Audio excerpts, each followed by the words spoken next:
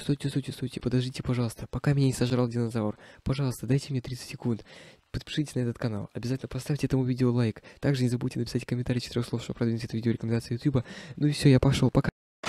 Всем здорово, народ! Сегодня шестая часть рубрики «Карьеры за московский Спартак». Сегодня немножко в черном, потому что такое настроение, дерьмовое. А почему дерьмовое? Потому что после пятой части глядя на себя со стороны, я просто понял, что я превращаюсь в определенного рода психа. И образ Джокера теперь на меня клеится действительно легко, прям вот реально легко. Чтобы сегодня такого не было, я должен максимально просто и спокойно реагировать на все ситуации. Поэтому буду стараться максимально сегодня вот прям, знаете, вот по фасту, спокойно играть. По фасту? Я зачем-то сказал по фасту? Я должен был сказать на релексе. Короче, сегодня мы с вами закончим период трансферного окна. Да, сегодня последний этап трансферного окна. После пятого выпуска, я думаю, что уже многие поняли, кого я приобрел, кого у меня получилось купить из кумиров одного человека, но при этом задачу руководства мы так и не выполнили. Мы не подписали правого защитника, поэтому давайте прямо сейчас подпишем правого защитника, а, ту задачу, которую нам поставил руководство. В противном случае нас просто могут уволить, а это нам точно не нужно. Поэтому давайте прямо сейчас продолжать. И также сегодня будем играть ответный матч квалификации Лиги Европы УЕФА и стараться пробиваться в групповой этап этого турнира.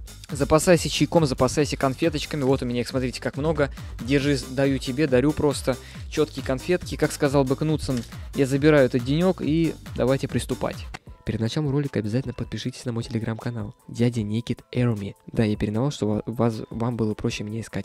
Английскими маленькими буквами Дядя Некит Эрми. Подписывайтесь на мой телеграм-канал Армия Дяди Никита. Вам будет очень приятно, мне будет очень приятно, вам не сложно. В общем-то, следите за мной. Там My Life. Там выходит все абсолютно, что связано со мной. Не забывайте, следите. Там кружочки, голосовые, инсайды, новости, российский футбол, европейский, не только. В общем, скоро еще как раз чемпионат Европы. Будет очень много контента, будет очень много кружочков, будет очень много реплик. В общем-то, подписывайтесь. А мы начинаем. Я так и не выполнил ту задачу, которую мне поставил мой э, зритель или один из моих зрителей, поэтому давайте прямо сейчас ради него я это и сделаю. Я пишу фамилию Фернандо, вот она. А, мне попросили купить Фернанду, и знаете, перед этим выпуском я не буду лукавить, я уже посмотрел Фернанду, и честно, я не нашел нашего Фернанду. Тут все Фернанду вообще не наши ребята, абсолютно не нашего поля ягодки. Если есть какие-то здесь Фернанду, они не те, которые нам нужны. Поэтому, к сожалению, Фернанду не получится приобрести, видимо, потому что он в этой фифе в Китае. При этом при всем, у меня появилась безумная идея приобрести Кафу. Он же правый защитник, если он есть в этой фифе... Его нет в этой фифе, господи. Так, давайте тогда попробуем приобрести Дани Алвеса. Дани Алвес... Он точно должен быть в этой фифе. По-моему, он здесь играет в Ювентусе. Да, Дани Алвес, правый защитник, абсолютно точно.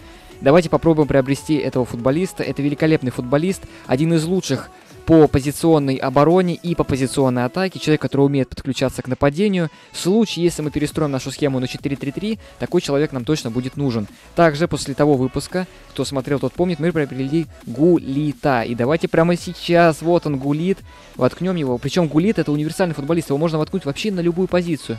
Давайте воткнем Гулита вместо Игнатова. Да, Игнатов что-то немножечко, если честно, в последнее время напрягает. Очень как-то... Э, не очень он играет. Также мне, если честно, не понравился в том матче Гулиев. Давайте вот Мартинса воткнем. Ну и Джона Терри. Давайте попробуем Джона Терри вместо Кутепова. Теперь у нас вот такой вот состав. Посмотрите, кого мы купили. Это просто великолепная команда, и я уже хочу начать за нее играть матч. И сегодня, да, мы будем играть. Скорее всего, мы сыграем сегодня два матча. Давайте начнем играть первый матч и выбираем сразу мячишку. Мячишку давайте выберем вот такой вот. Nike Merlin. Погнали играть. Локомотив Спартак, московское дерби. Димон Мартынов, тебе большой привет. Я знаю, что ты смотришь это видео, ты болельщик Локомотива. И давайте, надеюсь, сегодня не будет лагать так, как лагало в прошлый раз. Возможно, потому что у меня телефон перегрелся. И вот, мне уже дают сразу играть за Гулита. Ладно.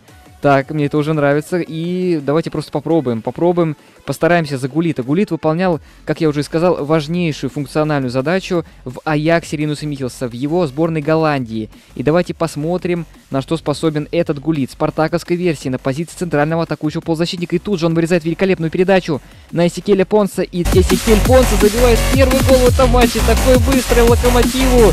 Добрый вечер. Эсикель Понса уже забивал локомотиву. Делал это не раз, и даже не два, и даже не три в реальной жизни. И сейчас буквально начало матча и и Рут Гулит уже показывает, что он не просто так был подписан за рекордные 150, 100 э, миллионов евро. Да, действительно, Рут Гулит отдает голевую передачу. Это его первый матч за московский Спартак. Кстати, давайте, пожалуйста, посмотрим, как выглядит Рут Гулит сблизи. Я очень сильно хочу посмотреть, как он выглядит вблизи. Пожалуйста. О, Рут Гулит, посмотрите! Вот, реально он похож! Посмотрите, реально Рут Гулит! Охренеть! Да, это реально он. Game face просто великолепно прорисован. Рут Гули, добро пожаловать, Спартак. Сразу же Россия приветствует этого голландца великолепно. А, господи, это реально Рут Гулит, охренеть. Просто Рут Гулит, один из лучших футболистов по любой позиции. И вот опять Рут Гулит. Смотрите, как он видит открывание футболистов моих. И это Вячеслав Кротов, который мог бежать и забивать э, гол. Тем не менее, мне нравится, как мы начали. Мы очень агрессивно начали против Локомотива. Мой Спартак просто великолепен. Так, спокойно держим зоны, не даем соперникам ничего просто сделать. Рут Гулит перекрывает. Опять же, посмотрите, обратите внимание на позицию Рута Гулита. То есть он сейчас спустился на позицию центрального защитника, но, к сожалению, Рут Гулит проиграл своего игрока. И тут Георгий Джики. Кстати, я хочу посмотреть на, на Джона Терри. У меня действительно есть еще Джон. Джон Же Терри. Я хотел бы сказать, и Джон Терри в целом, ну слушайте, передачу он точно отдал, а это самое главное, его позиция, это не просрать э, очень все, так скажем, важно. А здесь, к сожалению, уже Кристофер Мартинс Перейра, на которого мы тоже будем обращать внимание, э, теряет мяч в максимально простейшей ситуации. И Рут Гулит просто... Рут Гулит подчищает, Витя Мозес и спокойно Рут Гулит. Ай-яй-яй, я хотел сделать 360 за Руда Гулита. Понсе проходит, но здесь действительно нарушение правил. Соперник а, не прав. Э, так нельзя. Э, смотрите, у Локомотива есть свой Рут Гулит, просто он какой-то немножко старенький. Ладно, давайте, Георгий Джики, штрафной удар. Георгий Джики, я штрафной удар, но это легкая разминка для Марината Гильерми, но Джики я поставил на штрафной удар. Может быть, я, кстати, поменяю Джики на Гулита, чтобы теперь у нас Рут Гулит бил штрафные. Но в любом случае, в любом случае, это прям вау. Это просто, я, я, я прям смакую каждое действие, каждое, блин, касание. У меня, понимаете, даже промеса затмил этот Гулит.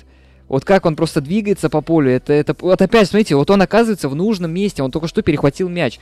Тем не менее, после первого тайма... Вы видели владение мячом? Вы видели это антирекордное владение мячом? 28%.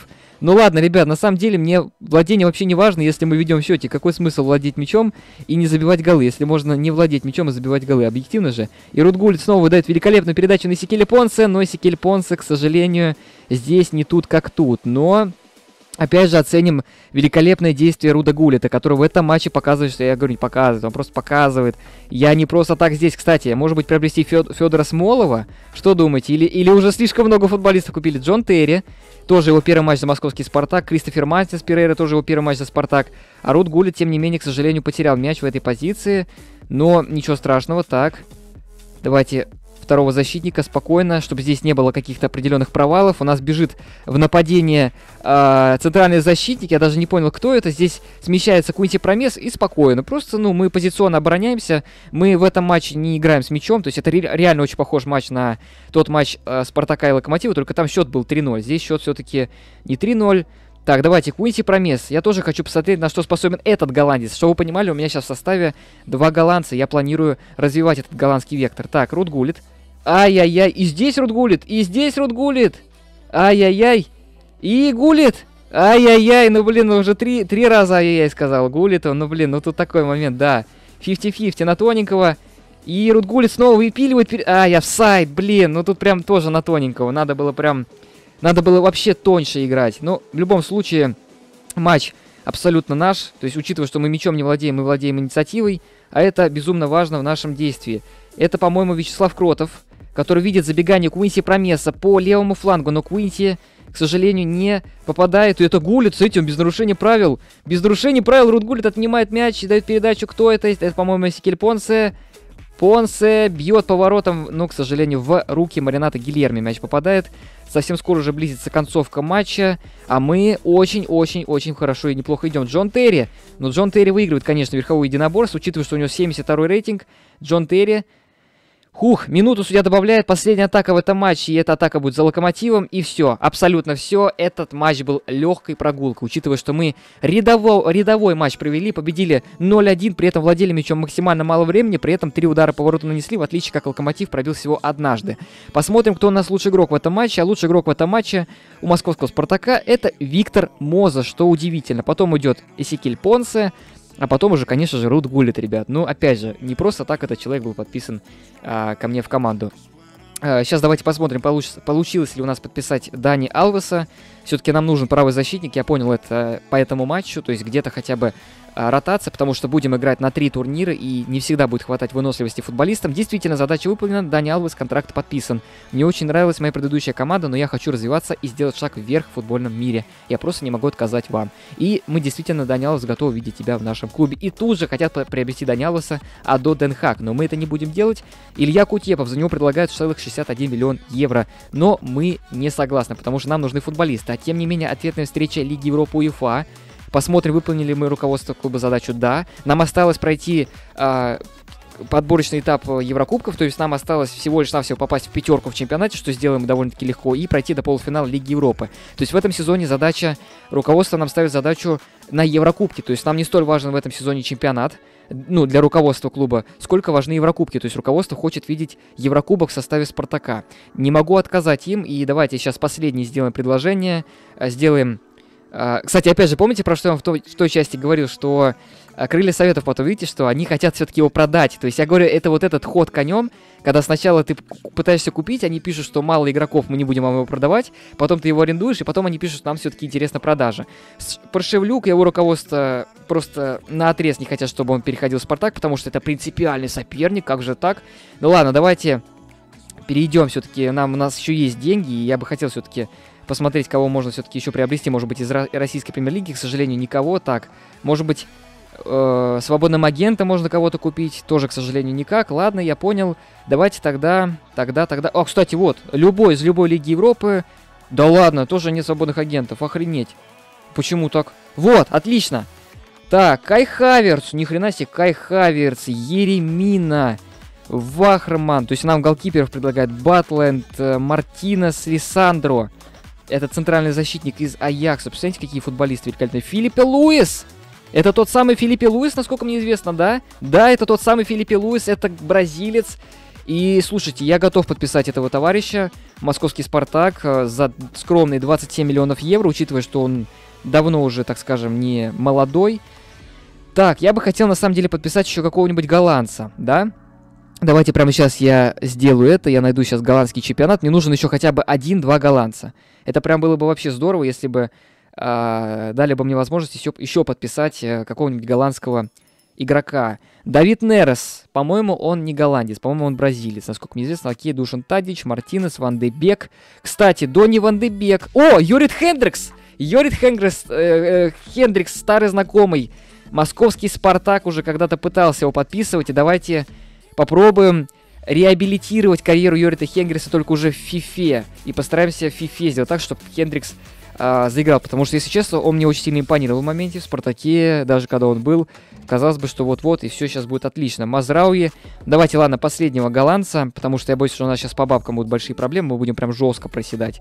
Прям жестко. Давайте, блин, нам нужен...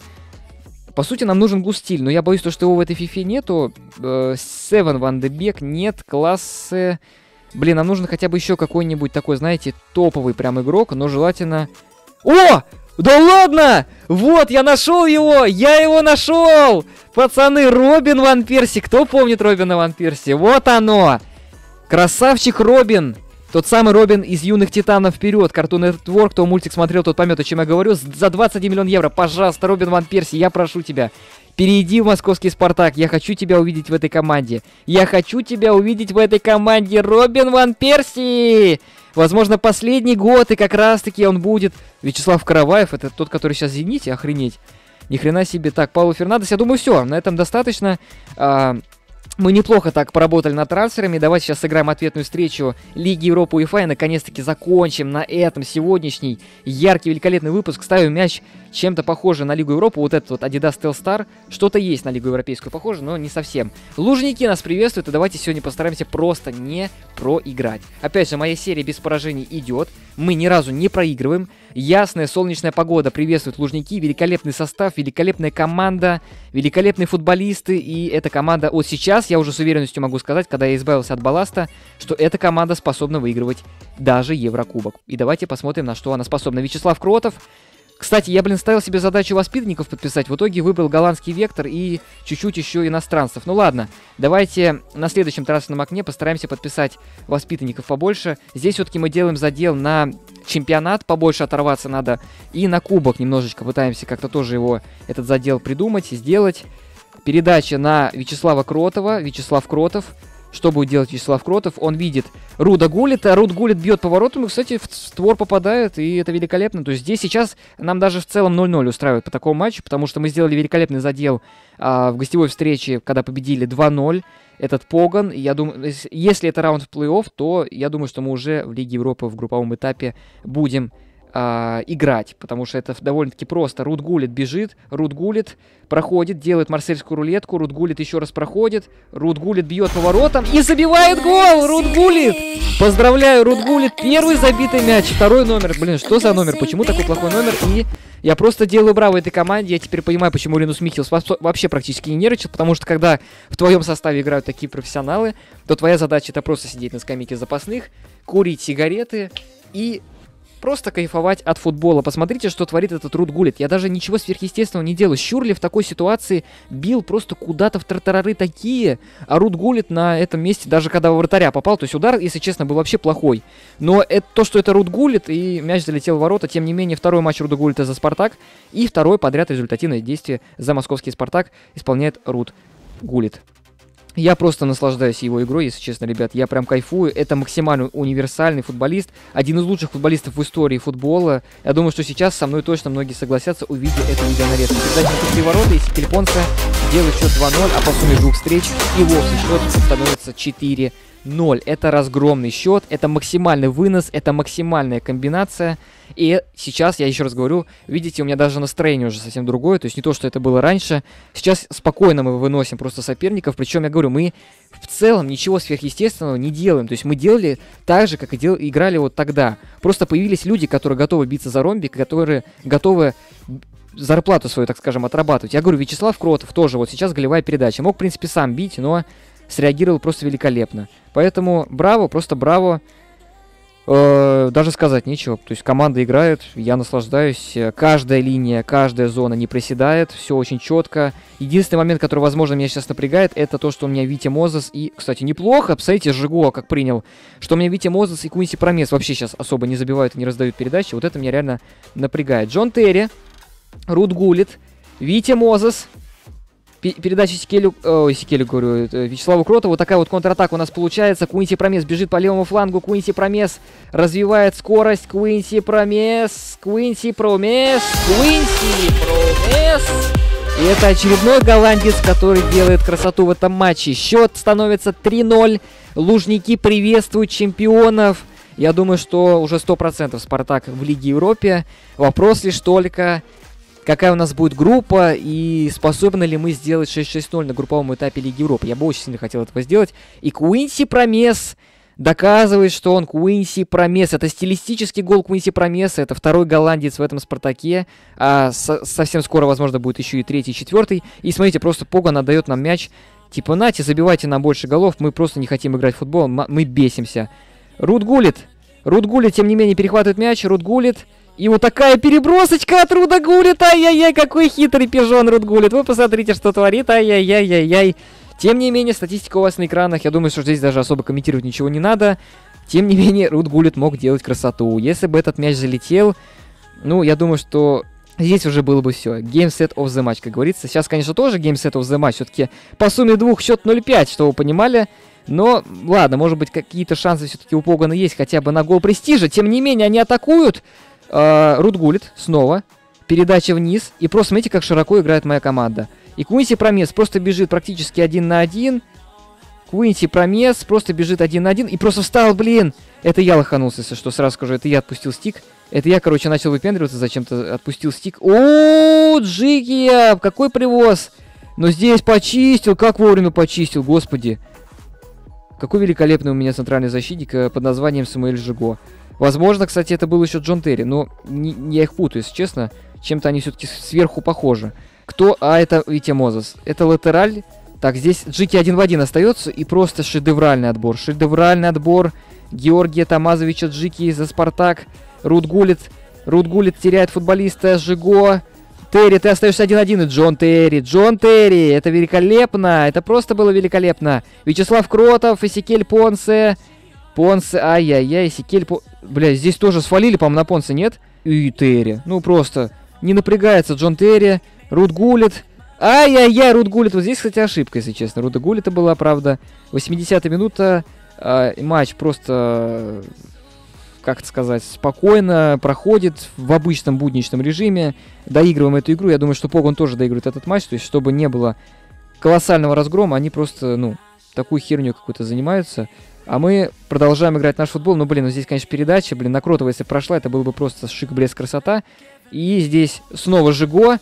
И снова Терри, второй этаж на стороне англичанина. Так, и все, и все, я поздравляю вас, я поздравляю московский Спартак с выходом в групповой этап Лиги Европы УЕФА. Это было очень просто, это было очень легко, это было максимально Изи, а лучший игрок этого матча это, конечно же, Руд Гулит. У кого-то были сомнения, 9,7 оценка Руда Гулита. Это самая высшая оценка, по-моему, в этом сезоне. Выше ни один футболист, по-моему, не получал в Спартаке. Хотя пересмотреть надо ролики, может быть, и было выше. Сейчас завершается трансферное окно. Давайте посмотрим, кто у нас в итоге до конца подписался. Будут ли еще у нас какие-то изменения в составе, может быть. Все-таки я очень сильно хочу увидеть в этом Спартаке Робина Ван Перси. Это прям будет идеальное завершение. То есть, представляете, Ван, э, Гулит Промес Ван Перси. Это треугольник, который просто максимально будет сыгран. Итак, Итак, да! Да! Причем все подписались! Пацаны, все подписались! Я даже не знаю, как вас, ребята, интегрировать теперь в состав. Я, конечно, понимаю, что у меня э, сейчас будет игра на три турнира. Это чемпионат, кубок и Лига Европы, да? Потом суперкубок еще, понятное дело, если мы что-то выиграем. А мы что-то выиграем 100%. Я, да, вот, сейчас я уже в этом точно не сомневаюсь. Ну, чтобы все подписались, чтобы вы понимали, у меня сейчас в моменте теперь 4 голландца в Спартаке. 4 голландца. 2 или 3 бразильца. Господи, это что за команда? И Александр Соболев! Робин Ван Перси, контракт подписан. Для меня даже тренироваться с такими великими игроками честь. Благодарю вас за предоставленную возможность. Робин Ван Перси, как же я рад, что ты все-таки перешел ко мне в Спартак. На старость лет, ему 37... Блять, прошу прощения. Ему 37 лет в этой фифе, и Робин Ван Перси должен еще попылить хотя бы годик-другой, взять со Спартаком требл и спокойно закончить карьеру. Филиппе Луис, у меня есть нужный вам опыт и мастерство. Я уверен, что в этом году трофеи будут нашими. Йорит Хендрикс, Хендрикс, Всегда приятно играть в футбол в одной команде с хорошими мастерами, и Александр Соболев много лет ожидал возможности проявить себя. Я уверен, Спартак Москва то, что нужно. Ну, объективно Соболев припиздел, потому что он сразу отказался, а потом пришлось через аренду его как-то, а, как коммер, с коммерсом работать. Знаете, сначала проблему создаешь, потом решаешь ее, но в итоге результат на добро, на табло, говорю.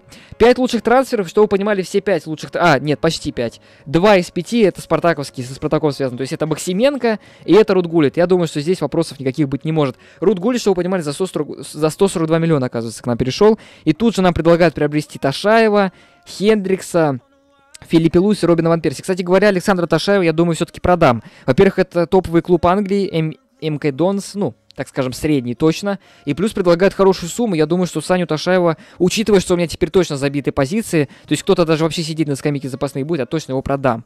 Саня Ташаев, извиняй, но твоя дорога в Европу, тем более в Англию. Я сразу сказал, то, что я буду продавать, если будет хорошее предложение, и также из, из европейских топовых клубов. Итак, Робин Ван Перси, Теперь будет у меня в стартовом составе в «Спартаке». Господи, какая у меня команда. Представляете, у меня даже места нет, куда кого ставить. Рассказов мальчик Оля, извиняй. Саня Соболев, Бля, куда кого ставить, ребята? Мне вообще уже просто мест нет, просто мест нет. Ладно, Гулиев, ну примерно вот так это все будет выглядеть. Придется постоянно ротировать составы. Давайте сейчас попробуем вместо Мартинса попробовать Хендрикса. Вместо Вити Мозеса выпустить Даню Алвеса, Данюшечку Алвеса. И вместо Сикеля Понса Александра Соболева. Посмотрим, как изменится команда в таком направлении, учитывая, что у меня а, у меня четыре голландца. Причем у меня четыре голландца на одном фланге. Ван Перси, Промес, Гулит и Хендрикс. У меня половина состава голландцев. Ребята, Никита Анигенихилс готов рвать и метать. Кстати, соревнования, я хочу посмотреть. Лига Европы. Это был, был точно раунд плей-офф или нет? Что? Это не был раунд плей-офф? Мне еще придется один раунд играть. Бишектаж нам попадается. А, нет, это был раунд плей-офф, и мы попали в групповой этап. Смотрите, соперники какие у нас. Бишектаж. Атлетика Бильбао. И последний нам еще неизвестен клуб, потому что он будет проходить еще. То есть, чтобы вы понимали, группа уже смерти. Бешикташ, Атлетика Бильбао, Спартак Москва. То есть российский клуб, испанский клуб, турецкий клуб топовый. И еще будет одна команда, я не знаю, что это будет за команда. Господи, что это нахрен такое сейчас, блин, будет. Мне придется сейчас просто максимально жестко играть. Тем не менее, нас с вами сейчас, вернее уже в следующем выпуске, потому что этот, я думаю, заканчивать. Он и так получился очень насыщенный, яркий и, наконец-таки, многоголовый. А, в следующем выпуске нам с вами предстоит играть против московского ЦСКА в московском дерби всей Руси, главном матче года российского футбола. Также нам придется встретиться в полуфинале Кубка России с петербургским «Зенитом». Это матч будет тоже года, потому что от него будет зависеть мой возможный требл, но это уже будет в седьмой части. И, возможно, в седьмой части мы также еще ну, в чемпионате России сыграем. И, а уже, наверное, с восьмой части мы с вами начнем выступление в групповом этапе Лиги Европы УЕФА. Сентябрь месяц, то есть уже сезон самое-самое то идет и отправляется. Тем не менее, тем не менее, по итогам а, Давайте сейчас зайдем в турнирную таблицу, быстренько подытожим сегодняшний выпуск. По итогам 11 туров, то бишь почти половина чемпионата мы сыграли. По итогам 11 туров у нас 6 побед, 5 ничьих, 16 забитых, всего лишь 2 пропущенных мяча. 23 очка, столько же, сколько и у Ростова, но при этом по статистике забитых пропущенных мы лучше, и, наверное, по личной встречам может быть тоже лучше. Хотя мы с ними не играли, да, мы с ними еще не играли, просто по забитым пропущенным мы лучше. Тем не менее, первое место наконец-таки сравнялись со всеми, то есть по играм, то есть уже равно, то есть уже нет такого, что там кто-то сыграл 7 игр, кто-то 11, как в чемпионате Англии, здесь уже плюс-минус у всех по-ровному. А, тем не менее, в зоне вылета у нас Терек, Урал и Тамбов с Арсеналом. Ну, это, в принципе, база, они и в реальной жизни не очень хорошо играют. Но в зоне верха реально плотно, то есть Ростов, Зенит, Спартак и в целом Рубин тоже могут претендовать на место первое. Здесь вопрос только тот, кто будет отрываться дальше и кто как будет пытаться дальше играть. Давайте посмотрим, кто у нас на данный момент лучший бомбардир. Лучший бомбардир у нас неудивительно, это Сикель Понса. За 11 матчей у него 7 голов. Потом идет Миша Игнатов, у него 4 мяча. И все в целом на этом. Ну, два мяча еще у Сани, а, точнее, Аяза Гулиева. Как-то так. В общем, на этом заканчиваю выпуск. Всем огромное спасибо за просмотр. Надеюсь, он вам был интересен. Мы с вами сегодня действительно очень ярко поработали, в первую очередь, на трансферном рынке. Сегодняшний выпуск, он очень важный. Мы сделали задел на будущее. Всем огромное спасибо за просмотр. Всем пока. Увидимся с вами совсем скоро.